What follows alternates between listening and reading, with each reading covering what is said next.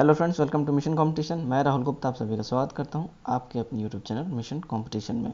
दोस्तों, आज हम एक बार फिर से आपके बीच रेड डोज का एक और नया मिनी एमसीक्यू मॉक टेस्ट लेके हाजिर हैं, जो कि हिस्ट्री के ऊपर होगा। उम्मीद करता हूँ आपने हमारे प्रीवियस वीडियोज़ देखे हैं, नहीं देखे हैं तो आप जाके वो सभी मॉक टेस्ट लगाइए, वो सारे आपके एग्ज़ाम के परस्पेक्टिव से बहुत इंपॉर्टेंट है। तो आइए वीडियो स्टार्ट करते हैं। वीडियो स्टार्ट करने से पहले आप लोगों से रिक्वेस्ट है कि अब तक आप लोगों ने हमारे चैनल को अगर सब्सक्राइब नहीं किया है प्लीज़ चैनल को सब्सक्राइब करें। बेल आइकन का घंटा ज़रूर दबाएँ और वीडियो को ज़्यादा से ज़्यादा शेयर करें ताकि और भी बच्चे इससे लाभान्वित हो सकें। ठीक है दोस्तों? चलिए वीडियो स्टार्ट करते हैं हम। आज का हमारा फ़र्स्ट क्वेश्चन है, सिंधु सभ्यता के टेरा कोटा यानी मिट्टी से बनी आकृतियाँ में निम्नलिखित में से कौन सा पालतू जानवर नहीं था? Of the following was not a domesticated animal in the terracotta या clay figures of the Indus civilization भैंस यानी द बफेलो भेड़ द शिप काउ यानी कि गाय और सुअर यानी कि पिग और हमारा करेक्ट आंसर है ऑप्शन नंबर सी यानी कि गाय. ठीक है? तो सिंधु घाटी सभ्यता जो है, यानी जहाँ मिट्टी से बनी आकृतियाँ मिलती थी, उनमें पालतू जानवरों में किसके जो आकृतियाँ नहीं मिली हैं, वो है गाँव गाय के आई एम सॉरी अब चलिए, इससे कुछ रिलेटेड फैक्ट्स भी डिस्कस कर लेते हैं, ठीक है? तो मिट्टी से बनी मूर्तियों को मनुमूर्ति कहा जाता था। हड़प्पा संस्कृति में जो है दोस्तों, मनुष्य के अलावा, यानी कि ह्यूमन्स के अलावा, वहाँ पे जानवरों, पक्षी, इन लोगों की भी मूर्तियाँ, यानी आकृतियाँ मिली हैं। अब किन किन जानवरों का मिला है, ये भी जरा जान लें। तो बैल, भैंस, भेड़, बकरी, बाघ, सुअर, गेंडा, भालू, मोर, बंदर तोता, बतख और कबूतर, ऐसे जानवर और पक्षियों के अवशेष यहाँ मिले हैं। अब यहाँ जानने वाली और जो गौर करने वाली बात क्या है, ये भी आप लोग ज़रा जान लें कि जो मानव की मूर्तियाँ मिली हैं, वो ठोस हैं, ओके? मानव की मूर्तियाँ जो है मिली हैं, वो हैं ठोस, लेकिन जो पशु और जो पक्षियों की जो मूर्ति मिली है, वो अंदर से खोखली हैं। चलिए, ठीक है? बढ़ते हैं नेक्स्ट, हमारे क्वेश्चन की ओर, हमारा नेक्स्ट क्वेश्चन है। सिंधु घाटी सभ्यता की लिपि कौन सी थी? Which was the script of Indus valleys civilization Tamil Kharosthi अज्ञात यानी कि अननोन और संस्कृत। और हमारा करेक्ट आंसर है सी यानी कि अज्ञात, यानी कि अननोन ओके हाँ तो फ्रेंड्स जैसा कि आप सभी जानते हैं कि यहाँ जो है, जितने भी इस सिविलाइजेशन में जो लैंग्वेज जो स्क्रिप्ट मिले हैं, वो सारे भाव चित्रात्मक हैं। कोई रिटर्न हमें यहाँ पे स्क्रिप्ट या लैंग्वेज रिटर्न कुछ ऐसा मिला नहीं है। और कुछ अगर लिखा हुआ मिला भी है तो उसे पढ़ा नहीं जा सकता है। और ज़्यादातर जो अवशेष मिले हैं, वो सारे भाव चित्रात्मक है। वो सारे अपने जो भावनाएँ होते थे, वो चित्र बना बना के उन्होंने वो सारा व्यक्त किया हुआ है, जो कि पढ़ पाना अब तक तो संभव नहीं हुआ है, आगे का पता नहीं। चलिए, बढ़ते हैं। नेक्स्ट हमारे क्वेश्चन में नेक्स्ट क्वेश्चन है हमारा। Question number three eighteen fifty seven के संघर्ष में भाग लेने वाले सिपाहियों की सर्वाधिक संख्या कौन सी प्रांत में थी? Okay which province had the highest number of soldiers who took part in the 1857 conflict ठीक है? हमारे ऑप्शंस हैं, Awadh, B, Gujarat, C, Delhi, D, Jhansi, और हमारा करेक्ट आंसर है अवध। तो दोस्तों, अवध में जो है जो भी इस संघर्ष में सिपाहियों ने भाग लिया था, वो अवध प्रांत के सिपाहियों का इसमें सर्वाधिक संख्या था। चलिए, बढ़ते हैं नेक्स्ट क्वेश्चन की ओर। हमारा नेक्स्ट क्वेश्चन है क्वेश्चन नंबर फोर बहुत ही अच्छा सा क्वेश्चन है। 1935 का गवर्नमेंट ऑफ़ इंडिया एक्ट क्यों महत्वपूर्ण है? Why is the government of India act of 1935 important options हैं, या गरीब जनता के हक में है। It is in favour of poor people option number B, यह भारतीय संविधान का प्रमुख स्रोत है।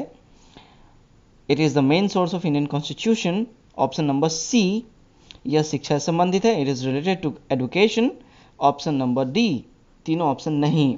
All of three are correct तीनों ऑप्शन सही हैं I mean all of three are correct ठीक है? तो हमारा करेक्ट आंसर क्या होगा इसमें? गेस करें आप लोग।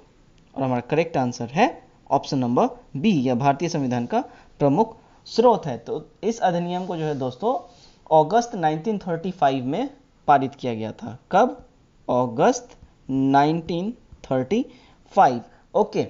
और इससे उस समय के अधिनियम संसद का सबसे लंबा अधिनियम कहा गया था। ये जो अधिनियम उस समय जो संसद में पेश हुआ था, ये लॉन्गेस्ट अधिनियम था, उस समय जो संसद में ये पेश किया गया था। इसकी लंबाई की वजह से प्रतिक्रिया स्वरूप भारत सरकार द्वारा अधिनियम 1935 को जो दो अलग अलग अधिनियमों में विभाजित किया गया था। ये इतना ज़्यादा लंबा था फ्रेंड्स कि इसको दो पार्ट्स में तभी डिवाइड किया गया था। पहला था भारत सरकार अधिनियम 1935 बर्मा सरकार अधिनियम 1935 ये दो पार्ट कौन कौन से थे? फ़र्स्ट था भारत सरकार अधिनियम और सेकंड था बर्मा सरकार अधिनियम। ओके चलिए, बढ़ते हैं नेक्स्ट क्वेश्चन की ओर। नेक्स्ट क्वेश्चन है क्वेश्चन नंबर फाइव किसने रानी लक्ष्मीबाई रेजिमेंट की स्थापना की? बहुत ही बेहतरीन सा क्वेश्चन है।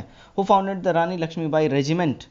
Option है, जवाहरलाल नेहरू गांधी जी सुभाष चंद्र बोस और रानी लक्ष्मी बाई ओके और हमारा करेक्ट आंसर है option number C okay option number C हमारा करेक्ट आंसर यानी कि सुभाष चंद्र बोस। तो सुभाष चंद्र बोस ने जो है रानी लक्ष्मीबाई रेजिमेंट की स्थापना की थी। ओके और इससे रिलेटेड कुछ मैं फैक्ट्स भी बता दूँ। तो इससे रिलेटेड फैक्ट्स ये है कि 1943 में देश की वीरांगना झांसी रानी बाई के नाम पर इस झांसी की रानी रेजिमेंट की स्थापना की गई थी, जिसमें करीब 170 महिलाएँ शामिल हुई थी। अब ये महिलाएँ कहाँ से थी? तो ये महिलाएँ जो है ना, वो मलेशिया के रॉबर्ट स्टेट फैक्ट्री में ये सारी काम करती थी और सारी की सारी भारतीय मूल की थी, सारी की सारी इंडियंस थी। ओके चलिए बढ़ते हैं हम अपने नेक्स्ट क्वेश्चन की और हमारा नेक्स्ट क्वेश्चन है सर्वेंट्स ऑफ़ इंडिया सोसाइटी की स्थापना किसने की? Who founded the servants of India society Bipin Chandra, Jawaharlal Nehru, Shri Gautam Rahugan और option number D Gopal Krishna Gokhale. और हमारा करेक्ट आंसर है option number D Gopal Krishna Gokhale. तो दोस्तों गोपाल कृष्ण गोखले ने जो है, पुणे में, कहाँ पे?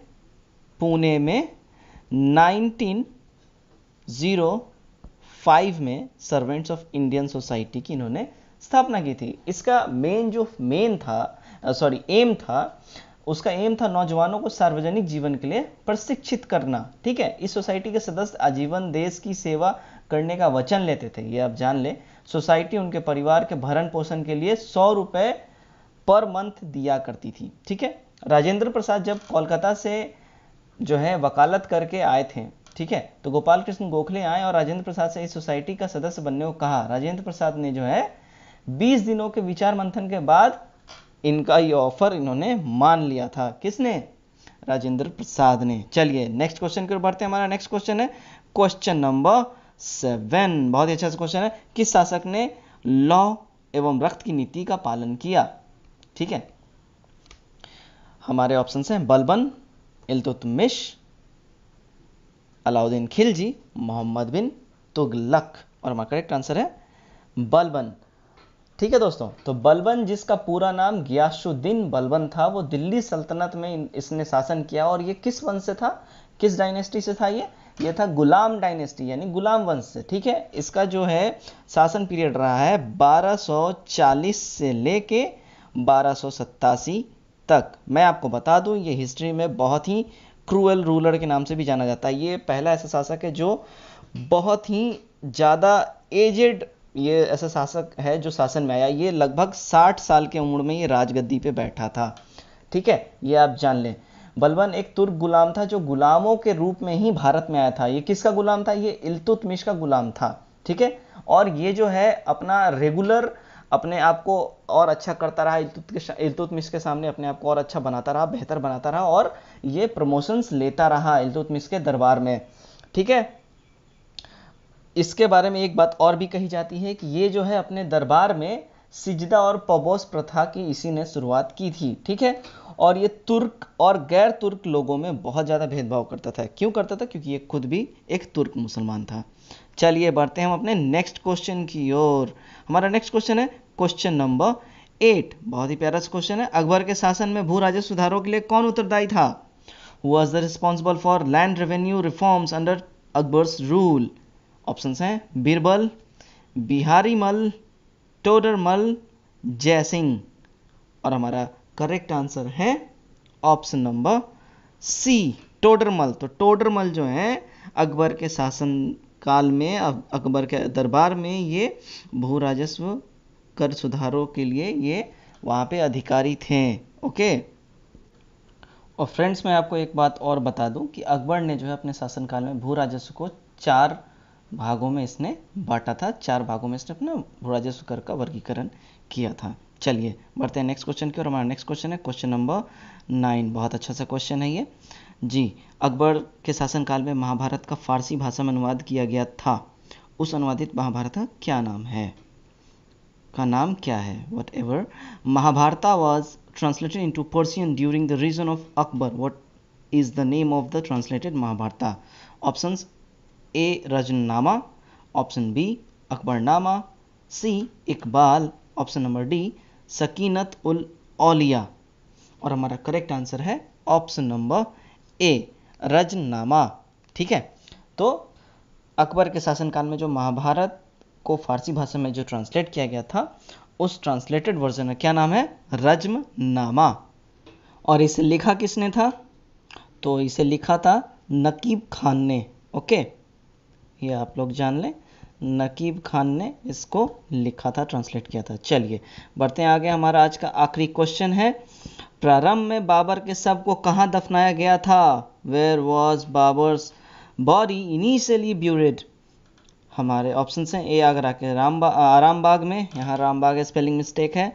ओके नई दिल्ली में, कोलकाता में, जामा मस्जिद में। और हमारा करेक्ट आंसर है, आगरा में। ओके और फिर इसके बॉडी को वहाँ से बाद में फिर से ले जाके अफ़गानिस्तान के काबुल में, बाबरे बाग में, उसके बाद लास्टली उसे फाइनली दफनाया गया। ओके तो ये था आज का हमारा डेली डोज का वीडियो जो कि हिस्ट्री के ऊपर था। उम्मीद करता हूँ वीडियो आप लोगों को पसंद आया। वीडियो अगर पसंद आया तो प्लीज़ वीडियो को लाइक करें। वीडियो को ज़्यादा शेयर करें और चैनल को अब तक आप लोगों ने सब्सक्राइब नहीं किया चैनल को सब्सक्राइब करें। चलिए फ्रेंड्स कल मिलते हैं एक और नए वीडियो के साथ। तब तक के लिए आप लोग अपना ख्याल रखें और अपने फैमिली का ख्याल रखें। Take care bye bye and God bless you